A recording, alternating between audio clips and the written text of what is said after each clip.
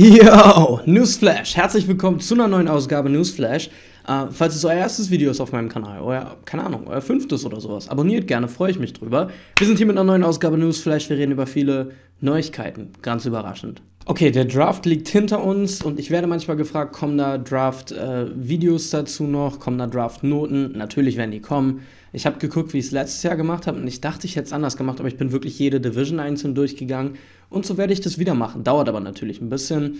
Ähm, und ich muss gucken, dass ich dann an dem Tag ordentlich Zeit habe dafür und so weiter und so fort. Also das wird kommen, aber denkt immer dran, Leute, wir haben keine Eile. Football geht erst wieder Richtung späten Sommer richtig los und bis dahin haben wir ganz, ganz viele Tage zu füllen. Also ich weiß, der Hype ist groß bei vielen von euch. Die Videos werden kommen, keine Sorge. Wir bleiben beim Draft und Indianapolis First Round Rookie Quitty Pay, der erste Edge Rusher oder äh, für mich der beste Edge Rusher, nicht wirklich der erste Edge Rusher, hat als erster Rookie-Spieler der ersten Runde jetzt seinen Vertrag unter unterschrieben. Und das wollte ich nochmal als Gelegenheit nutzen, äh, um euch zu sagen, es gibt keine festen Slots.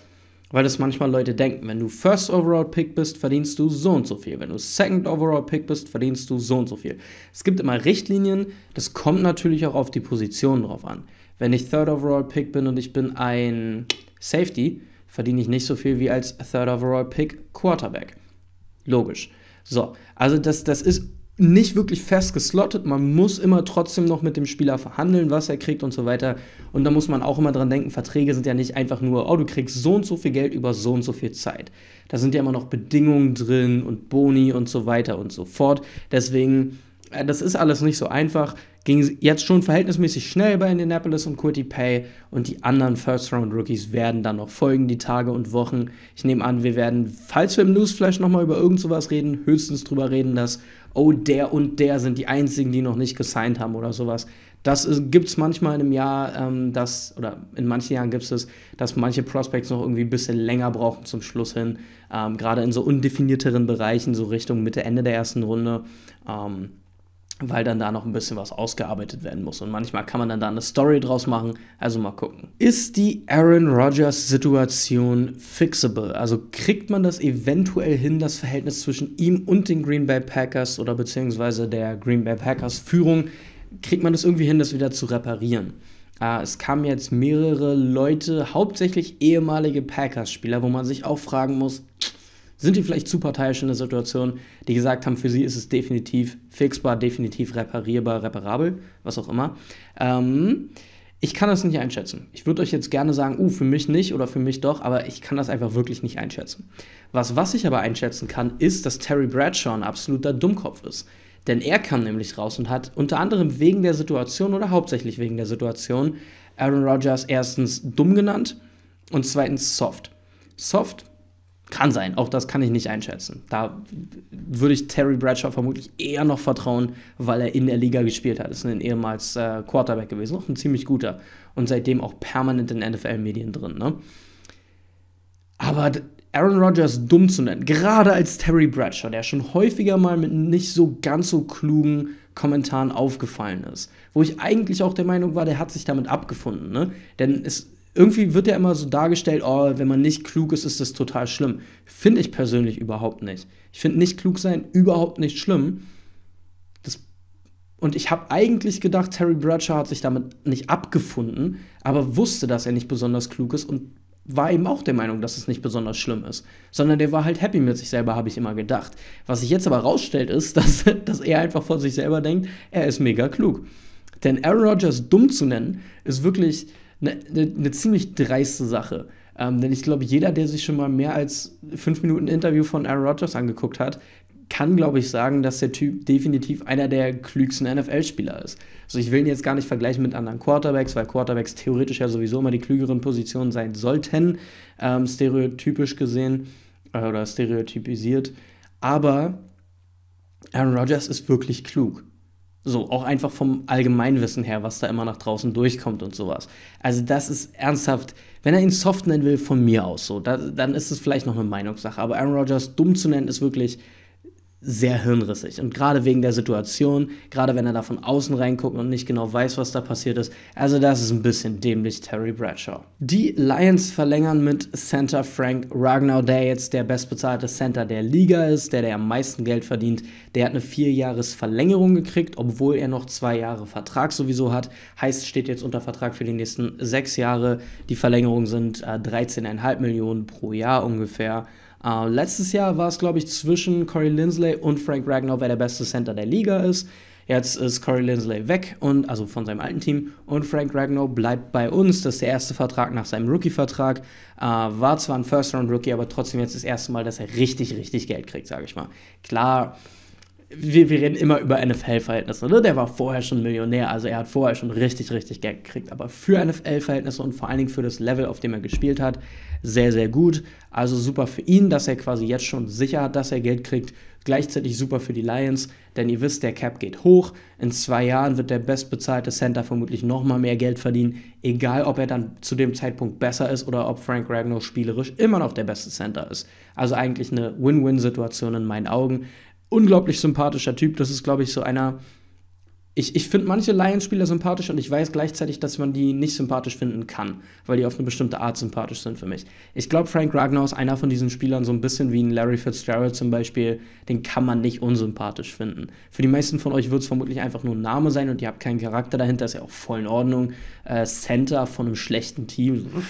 Aber ähm, glaubt mal, das ist ein super sympathischer Typ und ich gönne ihm den Vertrag sehr. Hat sich Richard Sherman vielleicht verpokert? Ihr wisst, Anfang der Free Agency oder Ende der Saison, sagen wir mal, gab es dann Interviews mit Aaron, Rod äh, mit Aaron Rodgers, mit Richard Sherman natürlich, in denen er gesagt hat, ja, ich merke schon hier ähm, geldtechnisch und so, die müssen den und den verlängern. Ich werde nicht zu den 49ers zurückkommen. Damals habe ich das interpretiert als, er weiß sehr genau, dass er irgendwo anders Angebote kriegt, wo er gerne hin möchte, wo er mehr Geld verdient als bei den 49ers. Jetzt hat er allerdings gesagt, er ist sowohl offen für eine Rückkehr nach Seattle als auch nach San Francisco. Ich weiß nicht, ob das einfach nur so dahingesagt ist, das kann natürlich auch immer sein, oder ob es jetzt wirklich heißt, er hätte sich bessere Angebote erhofft, findet diese besseren Angebote nicht und für das bisschen mehr Geld, was er jetzt irgendwo verdienen würde, irgendwo anders als San Francisco, lohnt es sich nicht wegzugehen. Und deswegen überlegt er jetzt doch nach San Francisco zurückzukommen oder eventuell sogar nach Seattle zurückzugehen. Beides auf jeden Fall Optionen für Richard Sherman. Sehr interessant. Lasst mich mal wissen, angenommen ihr seid kein Fan von einem der beiden Teams, wo würdet ihr ihn lieber sehen oder wo seht ihr ihn eher? Seattle oder San Francisco? Jedes Jahr wieder gibt es Spieler, die so ein bisschen sliden im Draft. Und einer der größten Draft-Slides dieses Jahr war Jeremiah Uwosu Koramoa, der aus der ersten Runde rausgefallen ist. Das höchste, was ich ihn so ab und an gemockt gesehen habe, war so, keine Ahnung, irgendwas in Richtung 14, 13, 15, irgendwas in dem Bereich. Ähm, und am Ende ist er aus der ersten Runde komplett rausgefallen und auch in der zweiten Runde noch ein Stück geschlittert an mehreren Teams vorbei. Leider zum Beispiel an den Lions vorbei. Ich meine, Levi äh, und Onsorike finde ich Finde ich sehr cool. Aber Jeremiah Uso Kuramoa war noch da mit unserem Zweitrunden-Pick. Wir haben ihn nicht genommen. Ist zu den Browns gefallen. Ähm, und jetzt kam ein bisschen raus, dass es wohl eine fragwürdige Situation gab ähm, mit seinem Herz dass es da eine, eine, eine, medizinische Situation gab, wo viele Teams sich unsicher waren, ist es jetzt wirklich was Bedeutendes oder nicht und das Risiko in der ersten Runde nicht eingehen wollten. Die Browns haben gedacht, ah, wir gehen das Risiko ein, haben seitdem gesagt, sie haben nochmal Untersuchungen gemacht und sowas und da gibt es kein Problem, er ist komplett gesund, äh, was mich mehr beruhigt als die Tatsache, dass Jeremiah Wusu-Kuramoa selber von sich selbst gesagt hat, er hat noch nie Probleme mit seinem Herz gehabt und da gab es nichts, was irgendwie, keine Ahnung, zum Denken anregt oder so. Denn sowas heißt letztendlich nicht wirklich was. Man kann sich super gesund fühlen und hat die ganze Zeit irgendwas und auf einmal hast du einen Herzinfarkt und stirbst. Das kann jedem von uns passieren. Und es hätte halt sein können, dass sie bei Jamal Wusu was festgestellt haben, was wirklich kritisch sein könnte in Zukunft, obwohl er sich super top fit fühlt. Dass die Browns jetzt gesagt haben, sie haben nochmal Untersuchungen angestellt, haben sich nochmal alte Akten von Notre Dame durchgelesen und sowas und da gibt es keinen Grund zu, zur Besorgnis, das finde ich super ähm, weil Jeremiah Owusu-Kromor neben der Tatsache, dass er ein super Spieler auf dem Feld ist, auch ein super sympathischer Typ abseits vom Feld ist. Deswegen freut mich das natürlich, dass er gesund ist. Ärgert mich natürlich noch, dass er nicht bei den Lions ist, aber ähm, ach, die Browns sind eigentlich ein ganz sympathisches Team, wa? Broncos Offensive Tackle Jawan James hat sich die Achillessehne gerissen beim Training. Allerdings nicht beim Broncos-Training, also nicht auf dem Gelände der Broncos. Und laut dem CBA, also dem Collective Bargain Agreement, dem Tarifvertrag sozusagen, den es gibt zwischen der NFLPA, also der NFL Player Association, dem Spielerverband, der Gewerkschaft von den Spielern und der tatsächlichen NFL, ähm, der neue Vertrag wurde ja quasi Anfang der Saison unterschrieben, Anfang der letzten Saison. Und darin ist belegt oder besagt, dass die Broncos ihm jetzt theoretisch nichts bezahlen müssen. Normalerweise bist du ja immer vertraglich ein bisschen abgesichert, ist dieses garantierte Geld, wenn du dich verletzt in einem Spiel oder im Training oder da, da, da. Wenn du dich jetzt aber in deiner eigenen Zeit verletzt, dann kann das Team theoretisch sagen, hättest ja nicht machen müssen, was auch immer du da gemacht hast. Dumme Aktion, müssen wir dich nicht bezahlen. Da muss man jetzt auch nochmal unterscheiden, passiert es beim Workout, passiert es beim Training, wenn du also versuchst, dich für dein Team, in dem Beispiel für die Broncos, zu verbessern, oder passiert es bei irgendeiner Freizeitaktivität?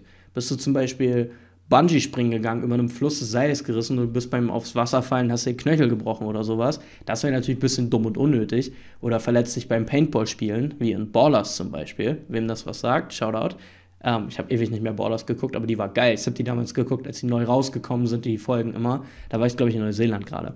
Ja, dann ist es natürlich eine andere Sache. So, äh, es ist jetzt anscheinend passiert, ich weiß nicht, ob es da wirklich ein Video für gibt oder ob er gesagt hat, dass es beim Training passiert, denn das ist auch immer noch die Frage, wenn er dann sagt, dass es beim Training passiert und eigentlich ist es passiert, als er, keine Ahnung, was ganz anderes gemacht hat, was Dummes, Sackhüpfen oder so.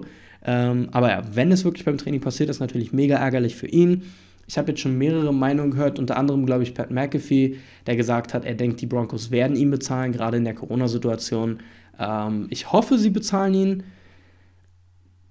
Ja, ich hoffe, sie bezahlen ihn. Zum Abschluss vom Newsflash nochmal ein dickes Dankeschön an euch alle, die ihr gerade das Video guckt. Auch wenn ihr jetzt schon wegschaltet, trotzdem nochmal danke kurz. Äh, danke, wenn ihr ein Like da lasst. Das wäre der nächste Schritt, der mir nochmal einen Ticken weiterhilft. Danke, wenn ihr abonniert habt. Das hilft nochmal einen Ticken mehr weiter und das reicht eigentlich schon. Aber die, die nochmal den extra Schritt gehen, sind dann meine Mitglieder. In allen drei Leveln weiß ich sehr, sehr zu schätzen. Natürlich ein extra Shoutout an die Mitglieder am allerhöchsten Level. Und das sind Football Dresden, Shreddiest, Samusan, Matthias Fischer, Sven, Joshua E., Venno DC, Kurt Nessner, Jan Heyer, Stefan Grunder, TJ Ryan, GGT, ihr kennt ihn als Lukas, Paul sein Channel, Blindage 91, Steve Arizona, Nick for OBJ, Jackson Nation Austria, Max Ambitious, Marcel Go Falcons, Jonas Eberlei, Leon Schulz, Nacho Out, Levin Faust. Marcel, Jets Army, dann Kanallegende Window 2, Yankee Tango, Patrick Schneider, Tobias Mangold, Jakob Seahawks, Mirko, Christian Rickert ist Pretty As und Hannes Walder. Vielen Dank für euren Support, Jungs. Nochmal, ich habe es am Anfang häufiger gesagt, jetzt die ganze letzte Zeit nicht wenn ich euren Namen hier vorlese, euren Kanalnamen, und ihr hättet gerne, dass es anders vorgelesen wird, zum Beispiel wie bei Mirko Dino, äh, der hat mir geschrieben, ähm, war früher ein Admin für mich bei meiner einen Franchise, hat mir gesagt, ey, Mirko reicht komplett, dann schreibt mir das einfach auf Instagram oder so. Es kann sein, dass ich ein paar Mal brauche, bis ich dran denke, aber ich werde es auf jeden Fall probieren, falls ihr wollt, dass ich was anderes vorlese. Alles klar, das war's mit dem Newsflash. Ich hoffe sehr, dass es euch gefallen hat. Wenn ja, würde ich mich freuen, falls ihr ein Like da lasst oder abonniert, wenn ihr noch nicht abonniert habt. Und ich hoffe, wir sehen uns alle im nächsten Video wieder. Bis dann. Ciao.